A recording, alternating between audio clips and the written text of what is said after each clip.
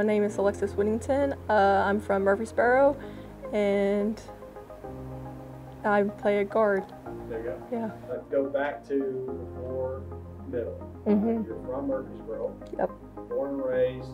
Uh, you won three state championships in that floor up there. So Mhm. before you even got here, when you were in high school, what was that experience like playing on this big floor? Mm. It's what we look. It's what I look forward to every year. It's like what you want to get to. It's like the top, the pinnacle of like um, high school basketball here in uh, Tennessee. So it's like uh, you wanted to end your like season here. You want to end it with three games on here. So we knew like going getting here was um, hard, but then keeping winning out here was like even harder. So like I looked forward to it every single year. It's like I want to go to Glass House, Glass House, because it's just so significant in like high school women's basketball here. I knew that um, if middle, you know, recruited me and my sister, like I knew we both wanted to go to the same place. When he offered us, we actually play, it was right after we played here in the summer, and my uh, head coach from high school called me and was like, "Coach wanted me to let you know that you know you both have like full ride like scholarships and stuff like that." And we're like, "Wow, like thanks." Like we even asked like, "So can we post it?" Like because we were so happy about it. And like there was a few other places like my sister, you know, uh, really liked, I really liked, but it, nothing really beat here. It's like we knew the program, the history behind the program, so I think it was never really a question where we were going. So what did that? What's that like to be at a place where your family can go to games? Everybody knows you. You know everybody. Yeah. That was honestly a main part of why I came here, like a like a huge part of it. Like of course I knew the program and like basketball wise, of course was the main part. But like right after like the basketball aspect of it, it was like my family's here, like I know the community. Like, what else could you ask for? You know, because you, want to play with uh, you want to play for people. You want to play, you know, with a packed gym like we do every single like you know we do almost every single night, like very close and. And I think that's why we were so good at home because we had all this support, you know, uh, since I've been here. And I was like, you know what, this is that's exactly why. Like every single time I talk about it, like that's why, like you say, we can we shoot better at home or we just play better. It's because of the crowd and the fans. Like I truly believe it, and like I, and I just know it is. Um, you know, you play with your sister. Yeah. Uh, how special is that to play for you? Oh, it's great. Like we knew going from high school to college, like, oh yeah, we're gonna play together. No matter where we go, people ask, "Are you guys?" We're like, "Oh, we don't know," but we always knew we want to play together. Like we did everything together, like every single thing. Like play, like everywhere we went was together, lived together, everything. And like even my like fifth year, Amanda not taking it, like it was it was different. But I feel like it, it made our relationship like stronger because you know we relied on each other so long. Then when there was like we didn't see each other like as much or like as often, we're like, oh yeah, you know this grew our relationship. So it was it worked out like perfect. You were all defensive team last year. Should have been all defensive team Yeah. this year. Why is that a part of your DNA? Oh, because I feel like it's something I can control. Like I feel like all the teams I've been on, like I wasn't the most like athletic or couldn't score as good as like others. Well, what I can control and bring to the team is defense, you know. And I feel like they, you can't have too much of it, you know. And I feel like everybody has to have a role. And so I was like, well, what can I do for the team? I literally like had this thought process to myself, like, what can I do for this team? And defense, you know, came up. Like I love defense high school. Like it was something I took pride in and stuff. And of course, like it took me a couple years to adjust to like the college game and like um, defending their coach's system and stuff. Uh, you lose Dora, very sad, but Yeah. you had Savannah. Yeah. Everybody gets a year older. Coming into this year, what are Mm-hmm. the expectations? I think the way we left last the season before and then came into the summer, we're like, okay, we're gonna be really good. I think in like Tess came in, I think that summer, and she was, and like we haven't had like a strength coach like her um, to really like push us off the like on like in the weight room and stuff. So and then like our like focus and mindset was probably the best like in the summer that I've seen us. Like we all want to get better. We knew what this team could do. We had um, Sav come in. We're like okay, like and then we had the freshmen come in. We're like okay, like we could actually do be really good this year. And that's also the reason why I think I came back for my fifth year is because I knew how good we could like we could be. We lose to Texas Tech in Yeah. Vegas. Uh, how do you, I mean, how do you shift focus? we after the game we went to the locker room and uh, Matt was the one he was like we're not gonna lose anymore like do y'all agree he's like we all like verbally was like yeah like we're not losing no more and so I feel like after the Texas Tech game we were like okay like we know what we can do we put it all together and we're like we're not losing that was the mindset and I feel like with everybody on the same like page it was easy for us to um, all have like the same goal and You're hurt, but Yeah. we come back here and we do play great against Yeah. Louisville, and we beat a ranked Oh, team yeah. for the first time ever. Mhm. So even though you were hurt on the Oh, yeah. sidelines, what was that game like? Uh, everything that I really wanted, you know, I came here because we do play, like, we play the best of the best. And, like, coach, he will schedule anybody, anywhere, anytime. He'll say it to you, like, a million times. And he means it.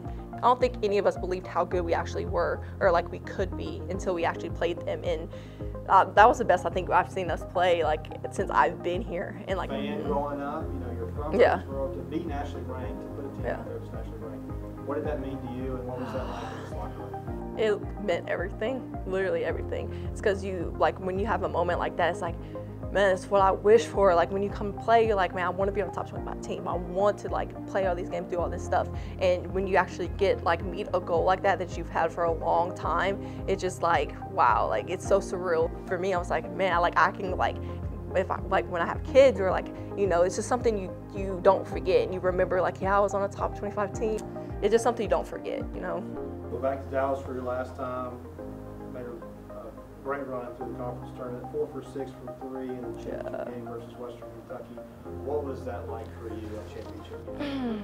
championship game, uh, the whole like to start the thing, you know, I took I think I took it more personal, like the thing. I was like, you know what, I'm just gonna prove like what I can do and just like, you know, like I think feel like that was the confidence I like that was the push I needed, the confidence I needed going into the tournament. Like we started off a little rocky in the like first five minutes, and I was like, oh gosh, it's gonna be a game, you know, like I knew it was. Like I Western was a good team. Like they just had a lot coming into a young team. Like got nothing to lose, gonna come in and play all out and stuff. But we we knew like we worked so hard all season to get to this spot. Like when it was game time, everyone was like, yeah, like we will like the energy was insane. Like everybody had the same thought process. So I feel like that's kind of what I'm gonna remember like the most is like the team that I was around and like I'll remember the game, maybe not exactly what happened in the game, but I like I'll remember like the satisfaction of it. We go to Duke, Yeah. and we play Colorado, and it's not the result that we want. Yeah. And, and I remember as you're walking off the floor for the last time, you just kind of turn around. I'm not sure if you're just kind of taking it all in. What was that game like? What were those five minutes like? I think the whole like NCAA tournament and even the last like few games, I took like everything in because it was like you're not like even if you do get here and coach, it's just not the same like as playing. Like at that moment, you have to look back and be like, oh, what we, what what you did and what the team did, and I think that's kind of like what went through my head after like all the initial emotions and stuff like that. But yeah, You've had five great years here. Mm. You, played with a lot of great teammates. Mhm. Uh, who are some of your favorite teammates over the years? Dora was that person that instantly came in and like she was literally the nicest person, like so genuine. Like I don't think I ever met anybody like her, and I think that was the difference maker. It's like she actually like cares. Like when she speaks, she reaches like she'll reach out. Like she actually cares about you personally, not just because she's like a part of the team. I know playing for Coach Insell is not easy all No. the time. Uh, your relationship with him Yeah. five years ago Oh, gosh. today, how has that developed? Oh, it's definitely developed. Coming in, like, um, he would talk to me. He's like, "You can do, you can do really great things here, like really great." And I was like, "Yeah," like I already knew, and I was like, "Yeah, yes, coach." Like, of course, you know. And then coming in, it like showing the coaching aspect of him, like it was it was different because I don't I've never had a coach like him. You know, always he just wanted the best. Like it looking back, it's like he just wanted the best out of you and like the most out of you and stuff like that. He's a main reason why I want to be a coach too. Like he really is. Like and like I was blessed for like five years to get to like you know learn. Like he would like call me over things. You want to be a coach? Make sure you write this down. Make sure you know this and that. Like he would do that, make it intentional. And I feel like everything he did was intentional. Like off the court, he would do anything for us. Like I honestly believe it. Like he would, he just calls us like if we're when we're sick or like stuff, but like checking up on us. And like I mean, you have some head coaches do that, but some don't. Like they just leave it off to like assistant coaches stuff. Like he's intentional with his stuff. So I could have asked for like a better coach that's been around the game, that uh, knows so much about it, that's um, literally coached like the best and like been around the best to like coach me. I couldn't have asked for it like any better. What's next for you?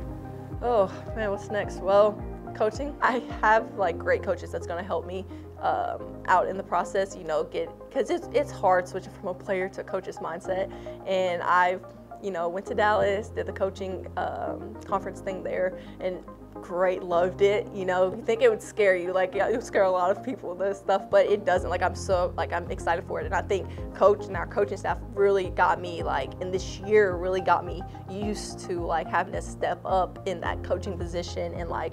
Um, just looking at it that way, you know. And I'm, I'm excited to see what the future holds, you know. Um, I feel like it's going to take you know time to do it but i'm excited because i know that it's like with the people i have in my corner and like the people that i've been around and stuff like that i like i'm going to be perfectly fine with GAing or assistant coaching eventually, you know, just working my way up because I have like great people I've learned from, I can still learn from. So yeah, I'm excited about it. Do you reflect on your career, your time here, is mm-hmm. there anything else you want to add? Anything you want to say to your or, oh, family man.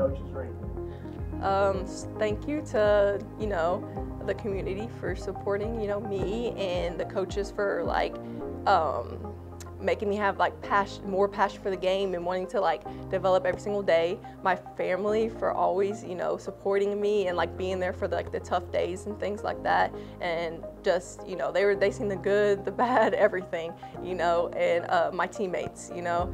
Um, I don't think I could have made it through five years without my teammates. You know, my sister being on the team for four years really helped a lot. And my teammates, you know, they keep me level headed and keep me grounded and keep me like where I, you know, could just be me in like calm situations. And, you know, I couldn't have asked for better teammates these last like few years. And um, I couldn't ask for better coaching staff, of course. Like I couldn't have like learned so much. They gave their everything to me, of course. And, you know, I'll just say thanks for the, you know, great five years.